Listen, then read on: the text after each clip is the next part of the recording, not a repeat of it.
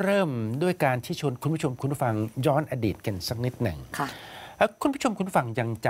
ำม็อบพันธมิตรประชาชนเพื่อประชาธิปไตย ม็อบพันธมิตรม็อบเสื้อเหลือง ม็อบเสื้อเหลือง ได้ใช่ไหมครับทนสมัยรัฐบาลไทยรักไทยค่ะ สมัยรัฐบาลไทยรักไทย สมัยอืมคุณทักษิณชินวัตรยังจำได้ใช่ไหมครับจำได้เป็นม็อบที่อดทนยืนยาวยืนระยะอยู่บนท้องถนนได้ยาวนาน และคุณผู้ชมคุณผู้ฟัง คุณผู้ฟังก็ยังจำม็อบนกหวีด หรือม็อบกปปสนำโดยลุงกำนันใช่ไหมได้ใช่ไหมครับ ยังจำได้ใช่ไหมครับจำได้แถวใต้รถไฟฟ้าเนี่ยถ้าม็อบนกหวีดจะอยู่แถวเส้นรถไฟฟ้าอืม แล้วเขาก็เคลื่อนย้ายมาที่ราชดำเนิน เคลื่อนย้ายไปที่หลังจากสนั้วนนลุมพิใช่นีค่ะ เคลื่อนย้ายไปอีกหลายที่ ใช่ค่ะม็อบนกหวีด ยุครัฐบาลพรรคเพื่อไทย ค่ะยุคของคุณยิ่งรักษณ์ค่ะ โอเค ยังจำกันได้ใช่ไหมครับ ยังจำสองเหตุการณ์สองม็อบนั้นได้ใช่ไหมครับ มาวันนี้ประเด็นของผมก็คือด้วยความเคารพฮะด้วยความเคารพฮะคุณผู้ชมคุณผู้ฟังค่ะมาวันนี้อืมพรรคเพื่อไทยถ้ามองย้อนแล้วถอดบทเรียน ม็อบพันธมิตรอย่างไร มองย้อนแล้วถอดบทเรียน ม็อบนกหวีดอย่างไรค่ะได้อะไรจากบทเรียนสองครั้งนั้นบ้างอืม โอเค ตัดภาพกลับมาปัจจุบัน ค่ะ พศ 2567 ปีคุนี้ณสุริสัยกตศิลา แกนนำม็อบพันธมิตรสมัยก่อนนะจำได้อเลดียตเป็นหแกนึ่นงในการนำนำคนสำคัญ พันธมิตร อดีตแกนนำพันธมิตร คนสำคัญเลยล่ะ อดีตแกนนำเสื้อเหลือง ใช่ค่ะ วันนี้พลิกบทบาทมาเป็นนักวิชาการ ใช่ค่ะ นักเฝ้ามองทางการเมือง ใช่ แต่ยังเกาะติดการเมืองอยู่นะ ติดตามความเคลื่อนไหวทุกระยะ วันก่อนคุณสุรสายกตศิลา เดี๋ยวนี้เป็นด็อกเตอร์ไปแล้วนะ ใช่ค่ะ ดรสุริยสัยค่ะ มสอรันงหนังสิตสือเป็นคณะบดีหรือเปล่าอยู่เป็นอะไรที่อืมมมหารัลังยสิตรังสิตใช่ค่ะเอิ่มคุณสุรสายได้ออกมาโพสต์ใน Facebook ในเชิงเอ่อสะกิดพรรคเพื่อไทย ถอดบทเรียน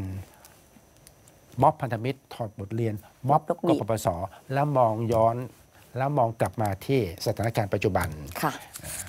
เตือนอย่างไรไปอันนี้เหมือนมาเตือนก่อนหงนะ เหมือนมาเตือนย่างก่อนไรนะอ่านกันสักนิดหนึ่งข้อความดังต่อไปนี้นะคะ ระวัง แก้รัฐธรรมนูญ หักกระแสสังคมต้องใช้เวลาสร้างฉันทามติ การเสนอร่างแก้ไขเพิ่มเติม รัฐธรรมนูญเป็นรายมาตรา โดยพักเพื่อไทยและพักประชาชน ในประเด็นการตีกรอบจริยธรรม ประเด็นอำนาจองค์กรอิสระ ประเด็นยุบพักและประเด็นอื่น ๆนั้น แม้เป็นสิทธิ์ของพรรคการเมืองและสสที่สามารถดำเนินการได้ก็ตาม แต่หากพิจารณาความชอบธรรมแล้ว ความชอบธรรมยังต่ำอยู่ แปลว่าอะไรเนี่ยอืมเพราะเพราะอย่าลืมว่าประเด็นที่เสนอแก้ไขกัน เป็นประเด็นที่มีความล่อแหลมสูง แม้จะได้ฉันทานุมัติในสภา แต่ถ้าปราศจากฉันทานุมัติจากนอกสภาหรือจากประชาชน ก็รังแต่จะทำให้เกิดความขัดแย้งแตกแยกโดยไม่จำเป็น ถูกต้อง รัฐบาลเพิ่งเข้ามาทำงาน ได้ไม่ถึงเดือน มีปัญหาให้แก้ไขมากมาย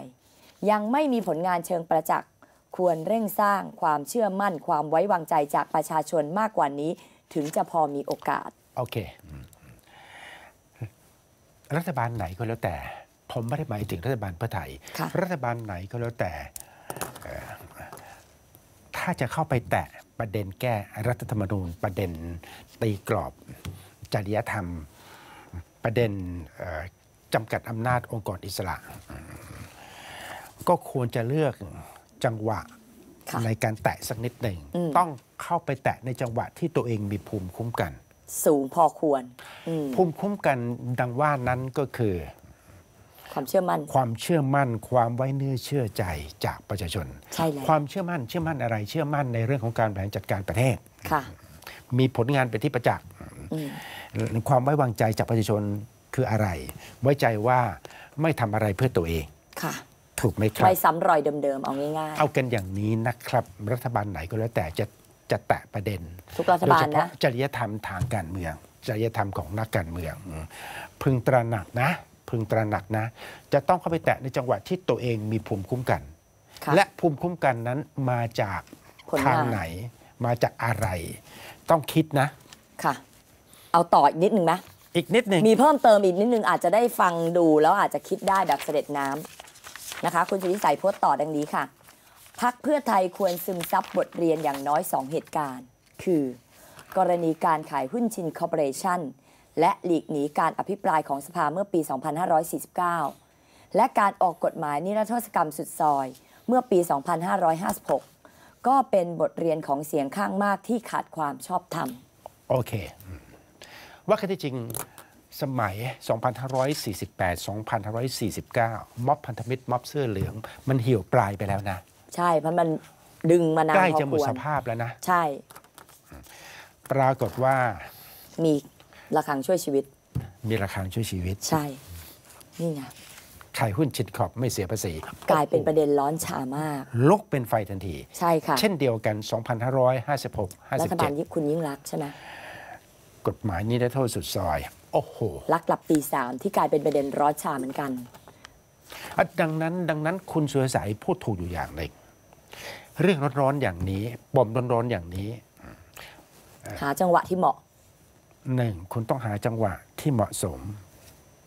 ที่เหมาะสมก็คือ ควรจะเป็นจังหวะที่คุณมีภูมิคุ้มกันที่สูงสักนิดหนึ่งใช่ค่ะ อย่างที่สองจะต้องตระหนักอยู่ตลอดเวลาก็คือ อะไรก็แล้วแต่มันไม่สามารถ จบได้ด้วยเสียงข้างมากในสภาเท่านั้น ถูกต้องอืมเอ่อสำคัญที่สุดก็คือต้องได้รับฉันทานุมัติจากนอกสภา หรือจากประชาชนในภาพรวมด้วย ก็คือประชาชนส่วนใหญ่ต้องเห็นด้วยกับคุณ ถ้าไม่เห็นด้วยกับคุณก็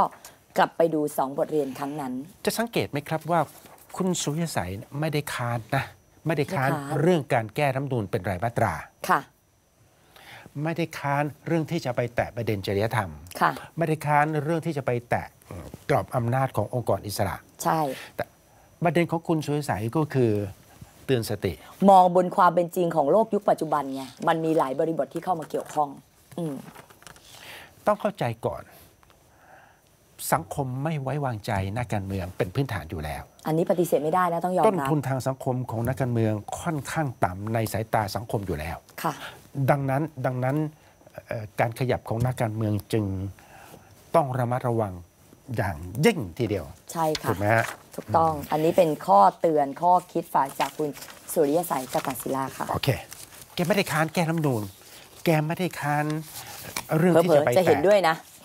เรื่องที่จะไปแตะประเด็นจริยธรรมเผลอๆแกก็เห็นด้วย และเออผมก็เชื่อว่าแกเห็นด้วย แต่เพียงแต่จังหวะจะโคนทามมิ่งสถานการณ์เพราะว่าคนที่เคยขับเคลื่อนทางการเมืองมาเนี่ยเขาย่อมมองเห็นบริบทของสังคม และที่สำคัญที่สุดนะ สิ่งที่เตือนกันเลยนะว่า ฉันทานุมัติจากนอกสภาเผลอๆจะมีนัยยะสำคัญกว่า ฉันทานุมัติในสภา มีเสียงข้างมากในในสภาแล้วไง แล้วก็เราก็เห็นรัฐบาลเสียงข้างมากในสภาล้มคว่ำมาก็ตั้งหลายทีถูกไหมครับ โปรดศึกษา โอเคถโปอรดดบศึทกษาเรียนใช่ค่ะ ไม่ได้แปลว่าไม่เห็นด้วยกับการไปแตะประเด็นจริยธรรม แต่แตะอย่างไร จะเข้าไปแตะเมื่อไหร่ อะไรเป็นเรื่องเร่งด่วนที่มันจะต้องขับเคลื่อนเฉพาะหน้าตรงนี้ อันนี้เป็นเรื่องสำคัญนะโอเค